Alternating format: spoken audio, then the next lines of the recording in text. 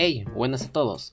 Hoy hablaremos del segundo capítulo de la sexta temporada de Better Call Saul, llamado Zanahoria y Palo.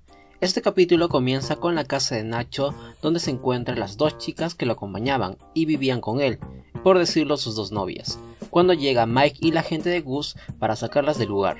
Todo esto para abrir la caja negra donde tenía su dinero y unas identificaciones falsas de él y su padre, Mike sabe que lo más lógico sería que al perder el rastro del hijo, Bolsa y la gente del cartel irían tras su padre, por lo que se lleva él mismo la identificación de su papá de Nacho y pone en una nueva caja negra unos documentos. Estos más adelante son abiertos por el cartel y encuentran todo lo que había plantado la gente de Gus, aparentando que Nacho planeó todo solo, mandando todo su dinero a Perú. Obviamente ese banco en realidad no existe, pero sí se asemeja al nombre del Banco de la Nación. Aparte de esos documentos, dejaron un número de hotel donde estaba escondido Nacho. Esto podría ser un poco contradictorio, porque lo que más quieren es que Nacho no revele para quién está trabajando, pero Gus, confiado que Nacho sería un blanco fácil, pensó que lo matarían apenas lleguen y lo amenacen en el cuarto, no pensando que con los pocos recursos que tiene él jugaría bien sus cartas para sobrevivir. Mientras tanto, Kim y Saúl piensan en el siguiente paso para joder a Howard, donde intentarán divulgar como una acusación que Howard no asesora bien a sus clientes por estar con síntomas de drogadicción. A Kim se le ocurre una idea, y es la de utilizar a los Kettleman. Un detalle es que en Breaking Bad, uno de los primeros acontecimientos importantes era el rechazo de Walter para que Elliot y Gretchen paguen su tratamiento, y en la última temporada los utiliza para que ellos laven el dinero que le quedaba y mandárselo a su familia. En Better Call Saul se repite el patrón, ya que el primer caso importante que vemos de Jimmy es el de los Kettleman, y ahora en su última temporada tenemos la presencia de ellos siendo utilizados por Saúl. Él llega al nuevo trabajo de ellos, donde finalmente encuentra la estatua de libertad que tendría en el techo de su oficina en época de Breaking Bad, aparte dando una pequeña referencia al planeta de los simios, por los mismos planos y cierta semejanza. Nótese el parecido. Incluso le dice más adelante a Kim que la estatua le da un buen toque al lugar, pero ella lo ignora. Vi en algunos lugares que muchos piensan que el auto de un anciano que estaba sacando un cheque es el mismo auto que Walter compró para llevarse el barril lleno de dinero después de cruzar el desierto en el capítulo de Osimandias. Y por un momento pensé que era el mismo, pero aparte de ver la diferencia de apariencia de los ancianos, el deterioro del auto por oxidación es distinto, los colores no coinciden y aparte la parte frontal es totalmente distinta, es decir, donde están los focos, siendo la de Walter un Chevrolet y la otra un Ford o una GMC, o en todo caso otro modelo, así que lo notaría como una referencia rebuscada. Ya dentro les cuenta de un plan para la accionación de Craig Kettleman, pero jugando la psicología inversa y que ya una vez lo jodieron a Jimmy, tenían planeado que al contarles el rumor, ellos buscarían otro abogado, divulgando por sí solos el rumor de que Howard es un drogadicto. Clifford Maine también lo recibe, pero se niega a llevar el caso por lo ridículo que es una denuncia por una presunción, mientras Gus organiza una charla con Don Héctor después de ver las fotos forenses para organizar una tregua por la búsqueda de los culpables de la aparentemente muerte de Lalo.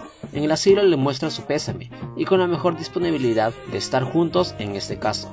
Don Héctor le estrecha la mano, notándose una referencia a la muerte de Gus, ya que la mano oculta por unos segundos la parte del rostro que se desprendió de él en Breaking Bad. Pequeños detalles de lujo que la serie tiene en todo su esplendor de cinematografía.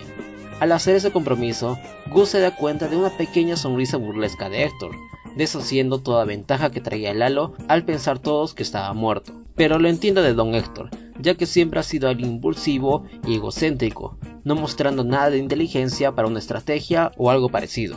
Podrían decir que en ese momento se dio cuenta Gus de la verdad, pero solo confirmaba algo que sospechaba desde que encontraron el cadáver calcinado con la excusa de que alguien estaba cocinando a esas horas de la madrugada.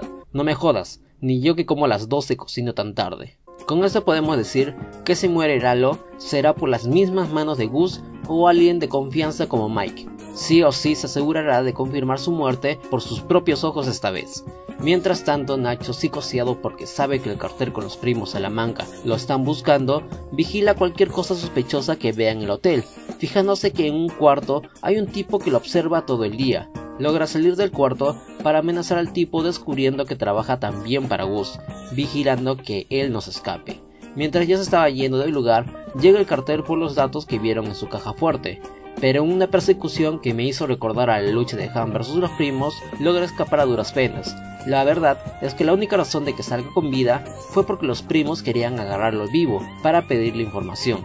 Lo dejan muy en claro matando a ese tipo solo por disparar lo pendejo. Solo recibe una llamada de los Kettleman, acordando ir el día siguiente. Él alista algo de dinero, porque sabe que descubrieron que los estaban utilizando, y Kim al notarlo le dice que mejor lo acompañará. Algo que mencioné en mi anterior video, y si no lo viste te dejaré una etiqueta para que lo veas después, es que tal como en la escena del inicio de la mansión de Saúl se muestra el libro de la máquina de tiempo de H.G. Wells, en esta escena de la llamada también aparece en la mesa de noche de Saúl. Pero ¿qué podría significar para tenerlo durante todo este tiempo? Y si te da hueva leerlo, te daré un pequeño mini resumen del libro. Un inventor de los finales del siglo XIX crea una máquina del tiempo llegando al año 802.701, donde existen dos clases de especies. Los Eloi, unos seres hermosos vegetarianos que se divierten y relajan todo el día para ocultarse de noche y temer al subsuelo. Por otro lado, a los Morlocks, seres diferentes carnívoros que viven en el subsuelo y solo salen de noche para buscar comida. Esa comida son los Eloi. Luego de enfrentarlos porque se robaron su máquina del tiempo para atrapar a los Eloi, logra confrontarlos y recuperar su nave donde viaja a presenciar el final de los tiempos. Esta historia parece que no tendría nada que ver con la serie, hasta que te das cuenta que es una crítica social. Los Morlocks son descendientes de la gente trabajadora y obrera, cosas que tienen en común Kim y Saúl, que vienen de familias con bajos recursos. Y por otra parte, los Eloi son descendientes de la gente rica y acomodada, que representaría a Clifford May, Kevin y especialmente Howard Hamlin. Tal vez hay más pistas o detalles de la trama de la serie en el libro, pero hasta el momento no he podido encontrar otra similitud aparte de la que dije. Ya el día siguiente cuando van a la oficina de los Kettleman, Saul intenta sobornearlos, porque ellos ya habían descubierto el interés de él de desprestigiar a Howard, queriendo obligarlo a buscar una manera de exonerar a Craig. Cuando ya parecía que nuevamente veríamos a Saúl obligado a representar a gente por extorsión, quien toma la palabra en una de las escenas que siento que deberíamos apreciar un poco más. Ella a través de una llamada a uno de sus contactos en investigaciones les cuenta que tiene en la mira un negocio familiar donde posiblemente se esté generando una estafa. Los Kettleman, dándose cuenta que podrían estar peor, le imploran que no hagan nada y que estarían a su servicio, quien les amenaza diciendo que deberán devolver el dinero a los que han estafado y olvidarán el nombre de Howard Hamlin, terminando diciendo You think you've lost everything? You have no idea. Puedes ver en el rostro de Saúl esa mirada de miedo e incomodidad que hace cuando vuelve a ser el mismo, ser Jimmy. O no me digan que no se acordaron al ver esto la vez donde Walter amenaza a Saúl. Incluso hasta pude sentir lástima de los Kettleman, siendo personajes que no son nada buenos. Kim saliendo tiene una mirada vencedora, como si lo hubiera disfrutado, y cuando entran al auto, Saúl murmura lobos y ovejas. Esa frase que lo dejó marcado desde niño, sabiendo que ahora Kim es una persona que no se deja intimidar y amenazar por nadie. Viendo la escena nuevamente, pude ver que al inicio aparece Saúl con un letrero atrás diciendo consigue dinero ahora, señalando justo el lado donde se sienta Kim. Cuando ella entra se desenfoca ese mismo letrero. Solo digo que me pareció muy sospechoso, aunque sin ningún significado aún. Mientras se ve el auto de ellos yéndose, se escucha y ve otro auto misterioso detrás de ellos.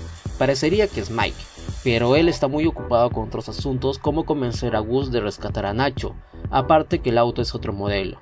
Lalo tampoco podría ser, porque se quedó en México y está ocupado supuestamente con el asunto de la prueba que le dijo su tío. Entonces podría pensar que detrás de ese auto estaría un investigador privado de Howard. No olvidemos que Howard ya sabe que Saul estaba molestándolo por un buen tiempo con las bolas de boliche o con las prostitutas. Así que sería algo absurdo que de la nada aparezca una bolsa de supuestamente cocaína en su casillero, sospechando que Saúl tiene algo entre manos y contratando a alguien para que lo averigüe arruinando tal vez ese plan que tienen nuestros protagonistas y siendo incluso la clave de la desaparición de Kim en Breaking Bad. Y bueno, eso sería todo. Si te gustó el video no olvides comentar qué tal te pareció el capítulo, darle me gusta y darle el botonzote de suscribirte para más videos así. Subo entre reseñas de películas y series como esta. Mis redes sociales estarán en la descripción.